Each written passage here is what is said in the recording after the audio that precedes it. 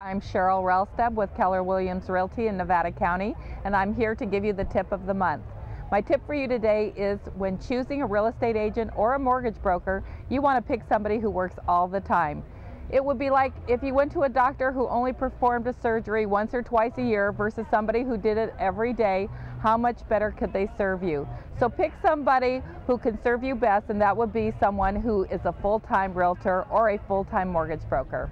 Uh, if I can help you with anything, please feel free to give me a call. My phone number is 800 965 4993, and my office is in downtown Grass Valley at 101 Mill Street. Thanks.